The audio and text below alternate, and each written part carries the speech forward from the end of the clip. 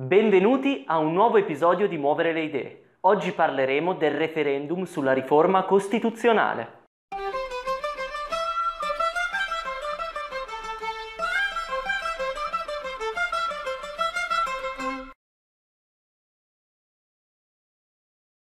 Il prossimo autunno tutti i cittadini italiani maggiorenni saranno chiamati alle urne per dire la loro sulla riforma della Costituzione fatta dal governo Renzi. Il Parlamento ha dato il suo via libera lo scorso aprile, ma non avendo raggiunto i due terzi dei voti come previsto in questi casi, l'ultima parola spetta ai cittadini. La Costituzione è la legge fondamentale dello Stato. Ciò significa che non solo deve essere rispettata da tutti i cittadini, ma anche che tutte le altre leggi che vengono quotidianamente approvate dal Parlamento non possono essere in contrasto con essa. La riforma di Boschi e Renzi modifica solo la seconda parte della Carta Costituzionale, cioè quella che tratta l'organizzazione dello Stato, mentre la prima parte sui diritti e doveri dei cittadini rimane praticamente intatta. Attenzione perché in questo caso, a differenza di quanto previsto per i referendum abrogativi, non c'è quorum.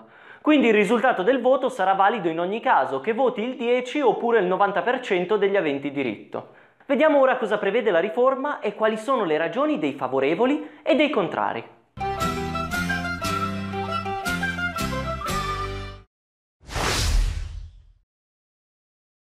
Il cambiamento più importante che viene apportato alla Costituzione riguarda il Senato. Oggi in Italia vige il cosiddetto bicameralismo perfetto o paritario.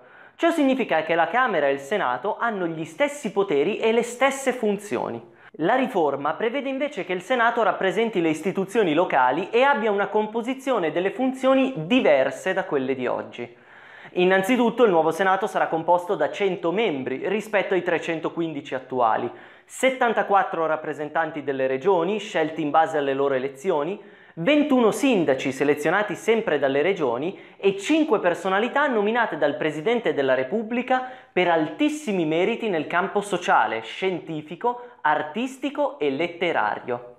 I rappresentanti delle regioni e i sindaci rimarranno in carica per la durata dei consigli regionali che li hanno eletti, mentre il mandato dei senatori scelti dal capo dello Stato durerà 7 anni.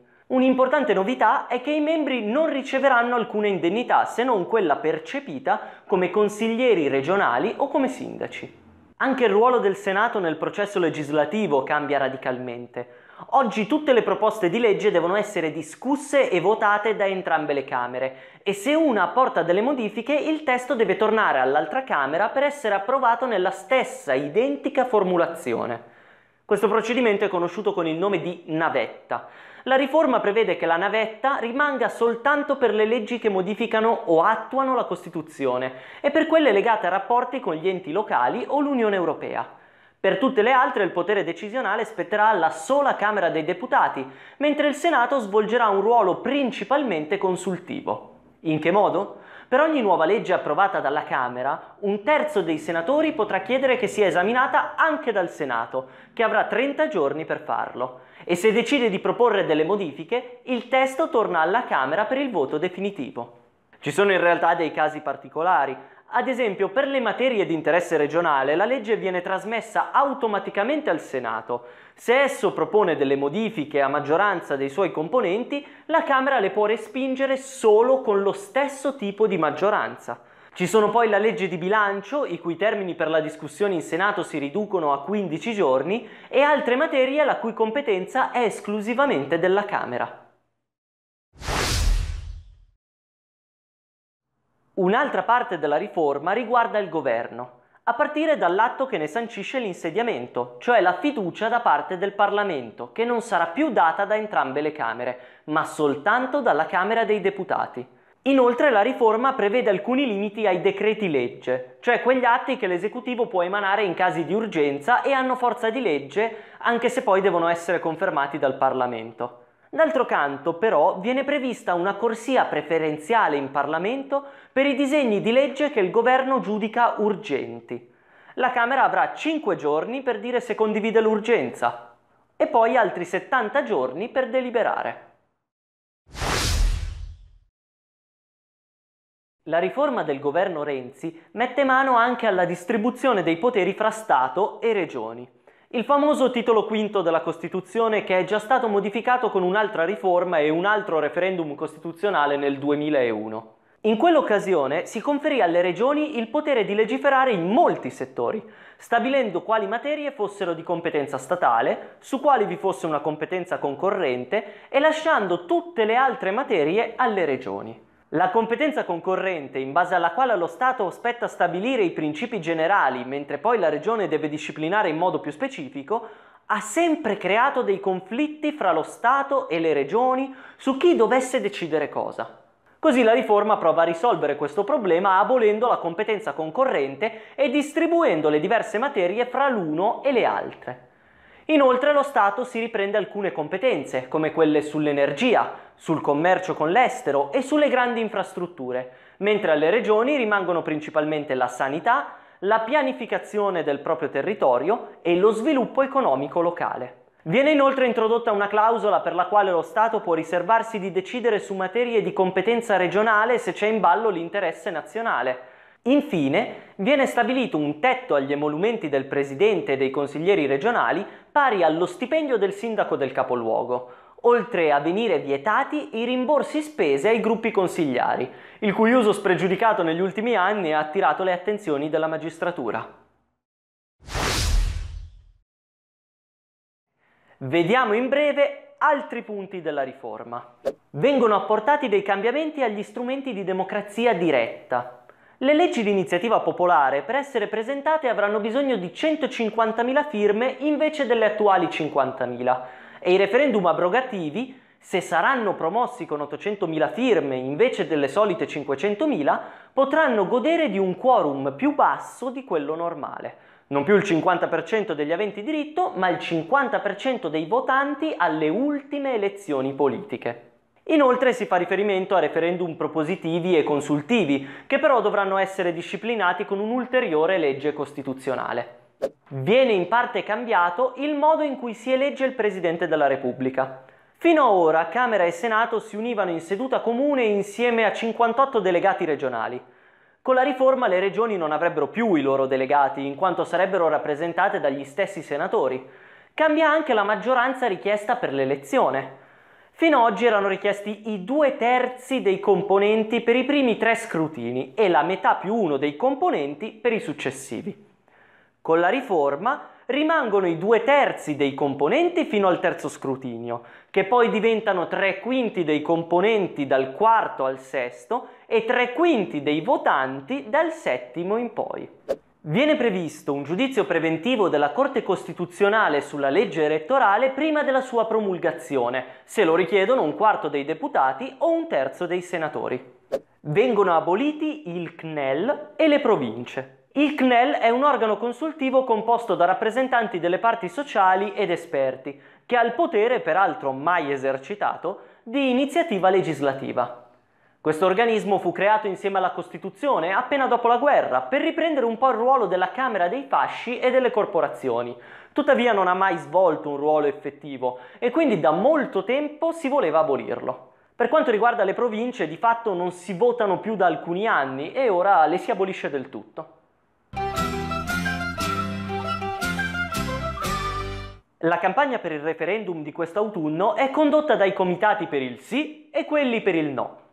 A favore della riforma si sono schierati naturalmente i partiti che l'hanno votata in Parlamento, il Partito Democratico, NCD e Ala di Verdini. La minoranza del PD però è poco convinta, perché avrebbe preferito che i senatori fossero eletti direttamente dai cittadini. Ai partiti si sono aggiunti 184 accademici che hanno firmato un documento a sostegno della riforma. Sul fronte del no troviamo invece i partiti di opposizione, Movimento 5 Stelle, Lega Nord, Forza Italia, Fratelli d'Italia e Sinistra Italiana. Un gruppo di 56 accademici, in questo caso tutti costituzionalisti, tra cui diversi ex giudici della Corte Costituzionale, hanno sottoscritto una lettera per esprimere i motivi del loro dissenso. Ma veniamo alle ragioni sostenute dalle due parti, iniziando dal merito della riforma.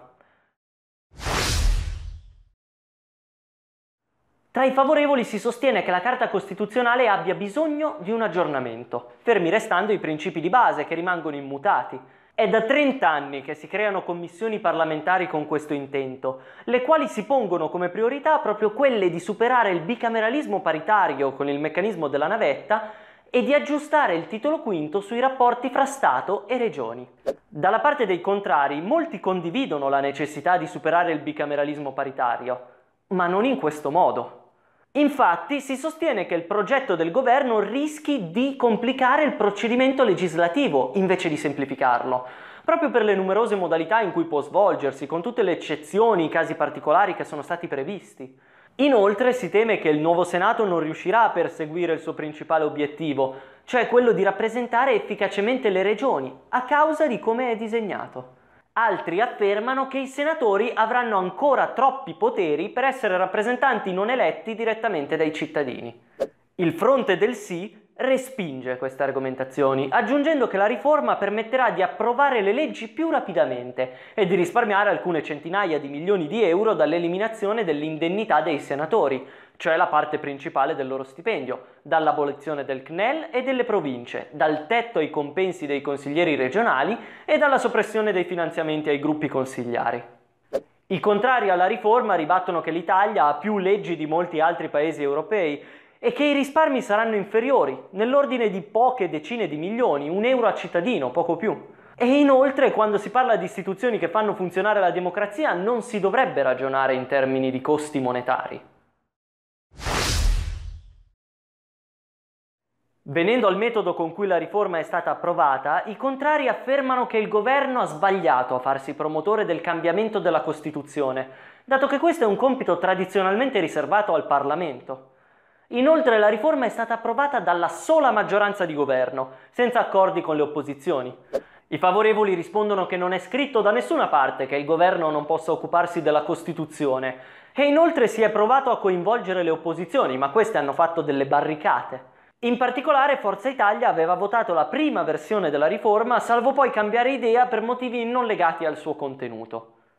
Dal fronte del no, una delle principali critiche riguarda la trasformazione del referendum in un plebiscito sulla figura di Matteo Renzi, dato che il Premier ha pubblicamente annunciato che si dimetterà in caso di sconfitta.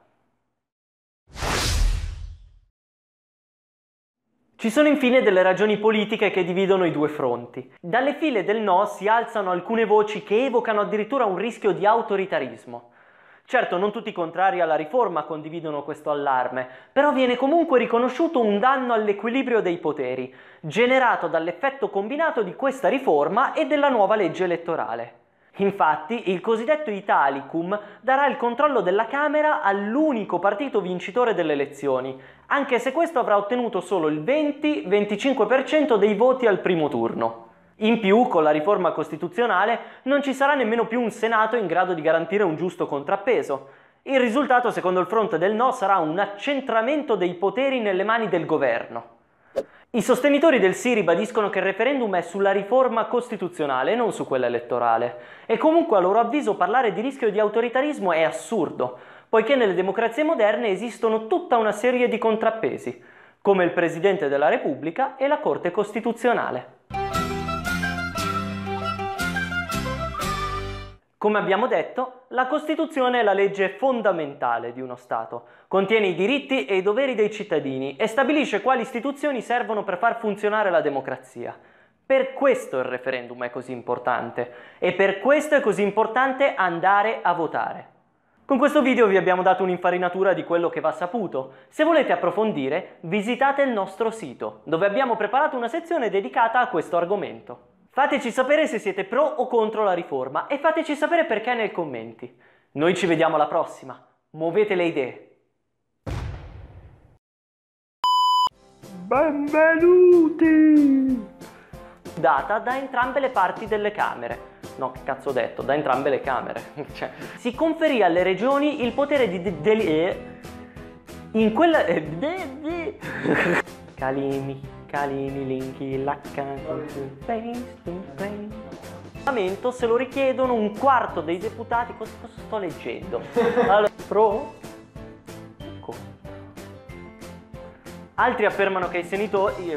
I senatori. Altri affermano che i senatori